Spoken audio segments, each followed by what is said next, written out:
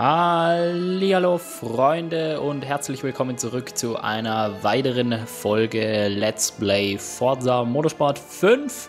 Ja, in der letzten Folge haben wir ja die Karriere mit dem RS5 hier abgeschlossen und äh, ja, normalerweise würden wir jetzt weiterspringen.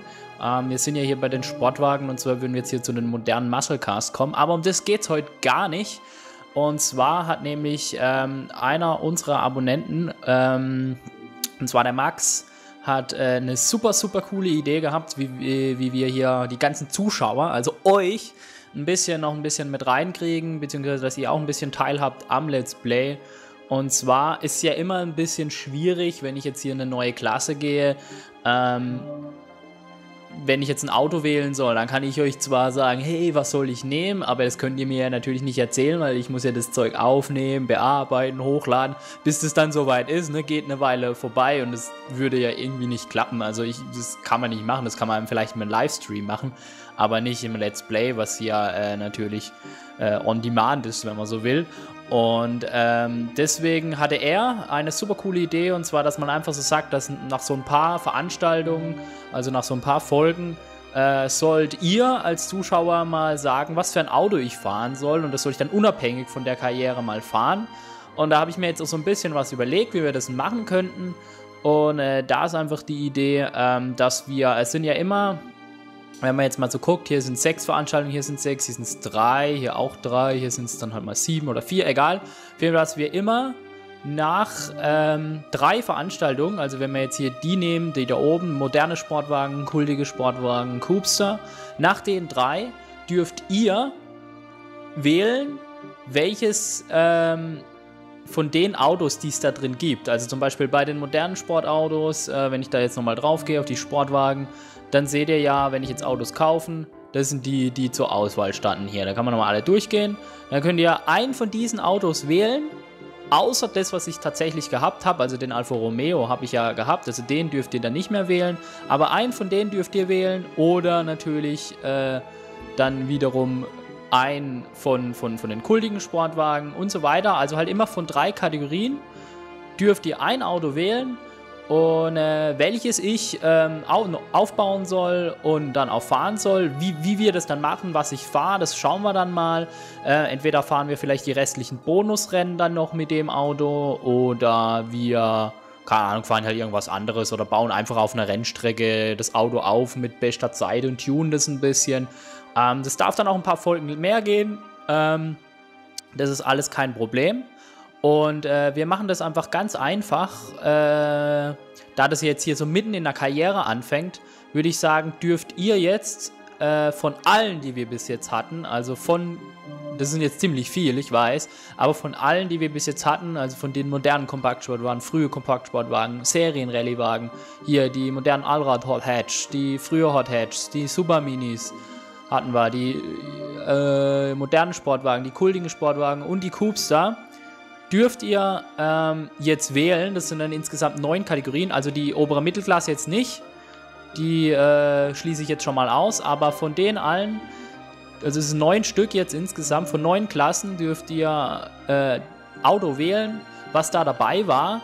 Ähm, am liebsten würde ich sie jetzt alle nochmal für euch durchgehen, aber ich glaube, das würde den Rahmen sprengen. Deswegen, äh, ja, weiß nicht, wie machen wir das am besten? Guckt nochmal alle Folgen an, aber das ist auch nicht so cool, ne? Ja, vielleicht gehe ich doch nochmal alle durch. Ähm, beziehungsweise ich gehe sie durch, ihr könnt ja stoppen. Ähm, und derzeit rede ich einfach weiter. Ich gehe es jetzt einfach so nacheinander durch. Äh, und dann könnt ihr das natürlich äh, ja, auswählen, welches Auto ihr möchtet. Aber halt im Prinzip soll das äh, Prinzip klar werden. Ihr dürft entscheiden, was für ein Auto ich dann fahren soll und äh, wie, wie, in welchem Umfang ich das dann fahre. Das müssen wir dann halt mal schauen. Ähm, ja, das ist so. Pff, ja, muss ich mir noch überlegen. Also wie gesagt, entweder die Bonusrennen dann noch machen oder eben auf eine Strecke einstimmen oder irgendwas äh, dergleichen. Und ähm, ja, das Ganze läuft jetzt eben, wie gesagt, jetzt das erste Mal ab. Und äh, da schreibt ihr einfach in die Kommentare, welches Audio ihr wollt. Und am besten natürlich die Marke, wie es heißt. Also wenn es jetzt zum Beispiel hier der Toyota MR2 GT sein soll, dann schreibt ihr auch wirklich hin Toyota MR2 GT. Am besten noch, wenn es das Auto mehrmals gibt, äh, wie zum Beispiel BMW M3 oder sowas, dann halt die Kennung äh, oder das Jahr. Also, dass man halt weiß, welches Auto ihr jetzt wirklich meint. Und äh, wie man das jetzt am besten auswählt, ist einfach so, ihr guckt in den Kommentaren, falls schon dieses Auto, was ihr wollt, schon drin steht, dann gebt ihr dem einfach einen Daumen nach oben. Äh, falls es noch nicht drin steht, also euer gewünschtes Auto, dann schreibt es einfach rein. Ähm, ja, so machen wir das einfach. Ich, ich, weiß jetzt halt nicht, wie viele da mitmachen. Ich meine, man muss ja ehrlich sein, unser Kanal ist jetzt nicht der größte, aber trotzdem sollte das ja nicht abschrecken, euch mit einzubinden. Und deswegen machen wir das jetzt halt einfach so, wenn sich natürlich jetzt nur einer melden würde, dann hatte der halt Glück und dann kommt halt das Auto dran, was der sich wünscht. Äh, wenn sich jetzt gar keiner melden sollte, ich mache das hier jetzt für die Katz, sage ich mal, dann gibt es halt gar keine solche Folge. So, so einfach ist es halt. Ähm, ja, und äh, deswegen würde ich halt sagen, oder würde ich mich schon freuen, wenn da ein paar Leute mitmachen, ist ja auch für euch. Äh, jedenfalls gewinnt halt das Auto, was die meisten Daumen nach oben hat. Und äh, ja, das kommt halt ran. Die anderen hatten, können es ja dann beim nächsten Mal nochmal versuchen oder so. Und äh, ja, so machen wir das auf jeden Fall. Wie gesagt, immer da nach drei Veranstaltungen machen wir das, beziehungsweise jetzt zum ersten Mal machen wir es jetzt halt natürlich hier ähm, für neun Veranstaltungen. Also ist ein bisschen mehr, aber gut, also ja, das äh, gucken wir halt mal. Und ähm, wie oder unter welches Video ihr das schreiben sollt, das ist natürlich auch wieder die Frage. Ne? Also wenn, wenn da jetzt äh, unter verschiedene Autos steht, das ist natürlich dann immer so eine Sache. Deswegen würde ich euch einfach vorschlagen, ähm, dass ihr jetzt für diese neuen Autos, das schreibt ihr unter dieses Video und äh, für die folgenden machen wir das einfach immer so, wenn dann ähm, die Folge entsprechend rauskommt für dieses äh, oder die, die, die Folge dafür rauskommt, äh, also das Auto, was ihr gewählt habt, die Folge natürlich, meine ich, ähm, dann könnt ihr es da drunter schreiben für das nächste oder so. Ich, oder ich überlege mir noch was. Hm, das ist jetzt blöd, da hatte ich mir vorher überlegen sollen. Ne? Wo schreibt ihr das drunter? Ähm, machen wir es doch einfach so. Ich würde sagen, wir geben dem Ganzen doch erstmal einen Namen, damit ihr wisst, um was hier geht es überhaupt. Und was könnte man da jetzt für einen Namen machen? Spontan? Irgendwas Einfaches? Hm. Ich hab was. Alles klar. Also der Name lautet Du wählst, ich fahre. Kurz einfach äh, DWIF. Ganz einfach. Klingt jetzt nicht nach nichts Besonderem, aber es sollte eigentlich klar sein, was, was es heißt. Ihr wählt das Fahrzeug, ich werde es fahren. Ähm, genau, und da werde ich einfach immer eine, sagen wir mal, eine Sonderfolge am besten machen, irgendwie so, und, äh, oh, das war jetzt ein bisschen zu schnell durchgegangen. Gehen wir nochmal zurück. So. Ja, das waren jetzt alle. Ich bin sie jetzt mal durchgegangen. Also, wie gesagt, das könnt ihr jetzt dann nochmal auch äh, pausieren, wenn ihr jetzt nochmal lesen wollt oder so. Ich lade sie hier in Full HD hoch. Ihr müsst es nochmal ohne Probleme lesen können, wenn ihr jetzt irgendein Auto war. Also, die Autos waren jetzt hier dabei, sage ich mal. Und, ähm, ja, von den neuen Kategorien würde ich mir jetzt halt wünschen, dass ihr hier unter, das Kommen, unter, unter dieses Video in die Kommentare schreibt, was ihr wollt zu unserem neuen Event, was ich jetzt gerade eben benannt habe mit äh, Du wählst, ich fahre.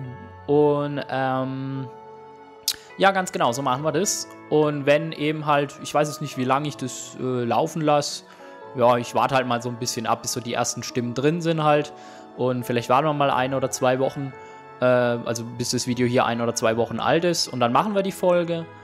Und äh, ja, dann gucken wir doch einfach mal, äh, wie wir das dann halt äh, entsprechend ähm, machen. Und ich denke einfach, dass wir dann im Anschluss dieser Folge, also wo das dann drankommt, machen wir dann einfach die Abstimmung schon fürs nächste. Da werde ich einfach am Ende nochmal drauf eingehen. Ich glaube, das ist einfach das Beste, weil wenn ich jetzt hier nochmal ein extra Video nur dafür mache, ist ja Quatsch.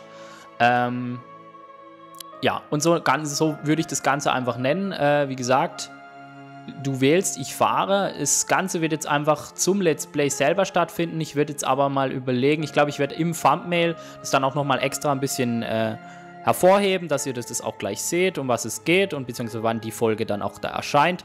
Äh, die Folgennummer wird aber beim Let's Play einfach fortgesetzt. Also das nehmen wir mit ins Let's Play rein. Ähm, ja, ganz einfach. Und ja, ich hoffe, ihr habt es verstanden, äh, was, um was, ich, äh, was, was, es jetzt eigentlich ging. Und äh, ja, ich würde, wie gesagt, mich wahnsinnig freuen, äh, wenn ihr daran teilnehmen würdet. Äh, und natürlich, wie gesagt, dann könnt ihr als Abonnenten, als Zuschauer ein bisschen teilhaben. Und äh, ja, ich würde mich auf jeden Fall freuen. Und ja, was machen wir jetzt noch? Ähm, jetzt habe ich hier so gequatscht und gequatscht. Ähm, eigentlich hätte heute, wo ich jetzt hier aufnehmen soll, das neue DLC-Pack rauskommen sollen. Das hätte ich jetzt auch noch gern gezeigt, aber irgendwie. Ja, das kam heute irgendwie nicht und deswegen keine Ahnung. Äh, ja, egal. Ach, genau, wir haben den Audi vergessen, im Forza Vista anzugucken, fällt mir gerade auf. Und das machen, holen wir jetzt einfach nach, wenn wir ihn hier schon stehen haben. Ähm, machen wir hier mal die Lichter an. Hier haben wir ihn. Äh, hier kann man natürlich die Tür aufmachen. Yeah. Sonst ja noch was Cooles? Ich glaube mir, ah ja, man kann den Heckflügel hochfahren. Denn den riesen Heckflügel, überlegt euch mal. Naja, so groß ist er nicht. Ähm, und ja, dann hören wir uns doch einfach mal kurz an, was äh, unsere nette Dame hier zu erzählen hat. In der Zeit überlege ich mir, was ich so noch erzählen kann. Audi hat mit seinem Allradantrieb für Straßenwagen die Automobilindustrie revolutioniert. Dem Audi Quattro ist diese Technologie in den Rallye-Rennen der Gruppe B zugute gekommen, in der fast alle Einschränkungen bezüglich Konstruktion und Motor aufgehoben wurden. Der Quattro A1 ging in der Rallye Monte Carlo 1983 zum ersten Mal an den Start. Siege in Schweden und Portugal folgten. Der A2 gewann in den Jahren 1983 und 84 insgesamt acht internationale Rallyes. Doch das Fehlen an Einschränkungen ging einher mit extrem hohen Pferdestärken, was zum Ende der Gruppe B führte. Denn auch andere Hersteller entwickelten Allradantriebe, was letztendlich zu schlimmen Unfällen führte. Der Name Quattro lebt heute als Quattro GmbH fort. Die Tuningstätte von Audi, die für die leistungsfähigsten Modelle verantwortlich ist. Keiner ist stärker als der Quattro Allradantrieb. Jo, das ist wohl die Geschichte des Audi Quattro. ähm, klar, Quattro natürlich Allrad, Audi baut eigentlich ja nur Allrad und äh, ja, dafür sind sie auch bekannt geworden im Rallye-Sport. Definitiv. Ähm, ja, also die Folge heute ist halt, wie gesagt, so etwas wie eine Sonderfolge, auch wenn sie jetzt hier in der Regelzeit, sage ich jetzt mal, der normalen Folgen erscheint. Ähm und deswegen, äh, ja, tut es mir leid, dass die, glaube ich, jetzt heute ein bisschen kürzer ausfällt, aber irgendwie sollte ich ja noch fast ein Rennen fahren, oder? Ich würde sagen, wir gehen jetzt noch auf die Piste ich pick mir jetzt irgendein Auto noch raus. Natürlich möchtet ihr auch ein bisschen was auf der Rennstrecke sehen. Und ähm, ja, die Folge danach, also die hier nach dieser Folge erscheint, werde ich auch noch versprechen, wird auch nochmal ein bisschen was anderes sein. Aber da geht es natürlich nur ums Fahren. So viel kann ich schon mal versprechen. Aber jetzt fahren wir hier heute auch noch irgendwie was. Jetzt wählen wir mal eine Strecke aus. Und ähm, ja, keine Ahnung, was nehmen wir jetzt da? Irgendwas, was wir irgendwie noch nie hatten.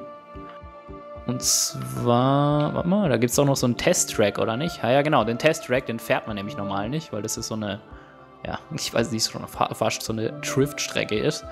Ähm, ich weiß gar nicht, ob man da Gegner einstellen kann. Ja, kann man. Ach, lassen wir mal, ah ne, machen wir den mal hoch. Machen wir mal voll und Pro-Runden, achso, da kann man mal ein paar mehr machen, weil die Strecke ist ja nicht so lang. Machen wir sechs Runden. Kollision immer ein, Autoklasse. Was ist denn der Audi? Äh, in B, ne? Antriebstrüb ist egal. B. Äh, achso, und dann noch die Fahrhilfen. Mal gucken, was haben wir da eingestellt? Äh, ja, passt. Ah ja, übrigens, ich habe mal ein bisschen probiert, ohne Ideallinie zu fahren, aber naja, dazu seht ihr in der nächsten Folge dann garantiert mehr. Ich lasse jetzt hier aber erstmal, mache ich sie erstmal wieder an. So, ja, dann fahren wir da mal und in der Zeit können wir nochmal ein bisschen reden. Beziehungsweise ich rede, ihr hört zu, wenn ihr wollt. Ähm, ja, also wie gesagt, äh, ich wiederhole einfach nochmal alles, das auch vielleicht verständlich ist. Ähm, also ihr dürft entscheiden, was für ein Auto ich dann einfach fahren soll und äh, das werde ich mir dann auch raussuchen. Und äh, ja, wie gesagt, war ein Vorschlag von einem von euch und den fand ich richtig gut und äh, ich würde mich freuen, wenn dann natürlich ein paar mitmachen würden. Natürlich sollt ihr halt, wie auch schon erwähnt, nicht das Auto ähm, auswählen, was ich schon hatte, sondern wirklich ein anderes. Jetzt in der ersten Ausgabe habt ihr die Auswahl aus so vielen Fahrzeugen. Ich bin sie vorher durchgegangen. In der Zukunft wird es dann einfach immer nur aus den letzten drei Klassen sein, die wir gefahren haben. Und ähm, ja, also schauen wir halt einfach mal, wie wir das äh, am besten machen. Also ich bin mir sicher, dass es ganz gutes und lustiges Format wird. Und äh, ja, dann schauen wir halt einfach mal. So, jetzt auf einer Strecke, auf der ich eigentlich noch nie gefahren bin, ehrlich gesagt. Die gab's, ist ja auch komplett neu. Äh, hier in Forza 5, die gab es ja noch vor nicht. Es gab zwar mal einen Testtrack in, äh, in, in, in, in Forza 4, aber das war ein anderer. Hui.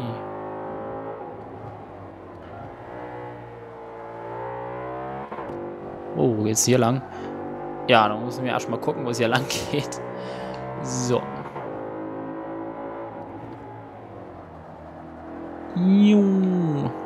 Ja, da gucken wir einfach halt mal, wie es so läuft. Was mich aber auch noch äh, abseits jetzt von dem Ganzen interessieren würde, ist, ähm, wer denn von euch selber, von euch Zuschauer Forza 5 denn hat, weil ähm, ich hatte auch da letztens mal mit einem aus der Procar eine Diskussion, da in Forza 4 sind es ungefähr 5,7 Millionen äh, Bestzeiten äh, in der Best besten Liste und hier in Forza 5 sind es gerade mal 700.000, das heißt sind 5 Millionen weniger Spieler ähm, natürlich klar ist es auch, dass äh, Forza 5 jetzt vielleicht nicht das, das mega gehypte Spiel ist. Zudem muss man auch sagen, es ist eine neue Konsole. Nicht jeder hat jetzt schon eine One daheim stehen. Und äh, deswegen würde es mich einfach mal interessieren, wer von euch hatte denn äh, Forza 5? Weil äh, wenn es da ein paar Leute gibt, die es haben und, oder in absehbarer Zeit haben, könnte ich mir auch überlegen, dass wir vielleicht nochmal ein zusätzliches Forza-Event jetzt zu diesem neuen machen und äh, wo ihr dann selber mitfahren dürft natürlich, aber wenn natürlich nicht so viele Forza haben, das Forza 5, dann lohnt sich das natürlich absolut gar nicht. Und äh, deswegen, äh, ja, überlegen wir es mal. Deswegen schreibt es einfach mal in die Kommentare und dann kann ich äh, ja überlegen, ob ich sowas aufziehe oder nicht. Aber wie gesagt, jetzt haben wir erstmal hier unser neues Event mit dem Namen, äh, ja, jetzt, wie hieß der Name nochmal? Du wählst, ich fahre, genau so war der. DWIF, so war das nochmal ganz genau. Ähm, eigentlich einfach zu merken. Und äh, das wird jetzt unser äh, Projekt so ein bisschen in, neben dem Let's Play sein oder während des Let's Plays sein, dass ihr eben wählt, welches Auto ich denn dann auch mal fahren soll. Dann habt ihr auch mal ein bisschen, ein bisschen äh, Einfluss darauf, was hier gezeigt werden soll und nicht nur mein persönlicher Geschmack. Dann könnt ihr jetzt zum Beispiel auch sagen, hey, jetzt pack doch mal den Mercedes aus, weil ich doch ja von mir auch schon ein paar Mal gesagt habe, Mercedes ist nicht so meins. Aber da entscheide ich oder will ich gar keinen Einfluss drauf nehmen, da entscheidet ihr. Und äh, ja, so soll es auch sein. Und äh, ja, wie gesagt, ich hoffe, es machen ein paar mit. Wie gesagt, ich weiß halt leider nicht, wie viele hier zuschauen. Ähm, wie viel hier auch still zuschauen. Ich meine, es ist ja auch immer so, ähm, also zum Beispiel ich, ich bin auch jemand, der viel Let's Plays von anderen äh, Let's Player guckt, aber ich schreibe eigentlich fast nie einen Kommentar drunter, weil ich eigentlich, muss ich sagen, bin so ein stiller Zuschauer bin und ich bin mir sicher, das habe hab ich hier bestimmt auch. Und äh, ja, bei dem Event wäre es doch schön, wenn ihr vielleicht mal so ein bisschen aus euch herauskommt und trotzdem was hinschreiben würdet. Ähm, schließlich, äh, ja, ist es dann auch euer Fahrzeug, dass man halt vielleicht sehen äh, wird oder vielleicht halt einfach nur, wie gesagt, einen Daumen nach oben geben, falls halt das Fahrzeug schon in der Liste steht. Und äh, ja, das äh, wäre doch auch mal richtig cool. Ähm, zudem muss ich halt noch sagen, klar, äh, unser Kanal ist jetzt nicht der größte. Wir haben jetzt hier gerade mal die 300 Abonnenten erreicht, was ich schon mega Hammer finde. Ich meine, 300 Leute, das ist eine krasse Zahl, aber ja, trotzdem ist es halt äh, dann im, für sowas dann halt vielleicht wieder zu wenig. Ich weiß es nicht. Man wird es halt sehen, wie viele Leute dann da äh, wirklich mitmachen.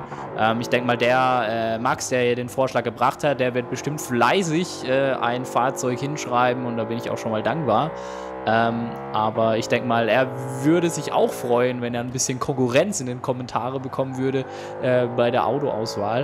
Äh, da bin ich ja mal gespannt. Und ähm, ja, es ist einfach so, dass halt vielleicht auch die Community hier bei uns auf dem Kanal äh, ein bisschen wächst und ein bisschen was äh, zusammen macht, weil äh, bei uns ist es einfach so, wir sind ja fünf Leute, wir sind fünf gute Freunde und wir sagen, wir sind die Pixelhelden, aber wir haben auch von Anfang an schon gesagt, ähm, die Pixelhelden sind nicht nur wir fünf, die Pixelhelden seid auch ihr, das sind alle, die einfach hier irgendwie dabei sind. Und ähm, das ist der Zuschauer, wie schon eben angesprochen, der nichts schreibt, das ist aber auch der Zuschauer, der viel schreibt. Ähm, es sind einfach alle äh, hier ein Teil der Community. Und ähm, wenn man so ein bisschen miteinander schreibt in den Kommentaren oder sich kennenlernt, ist es doch äh, super, dann können wir doch zusammen eine große Community werden. Und äh, ich glaube, das ist doch das, was alle irgendwie vielleicht dann cool finden und warum nicht so mit sowas, äh, mit so einem Event, wo ihr dann einfach sagt, ja, hier, ihr dürft äh, die Autos wählen und äh, wir machen das dann halt. Und, äh, oder ich mache das dann halt. Und äh, ja, dann sehen wir das Auto.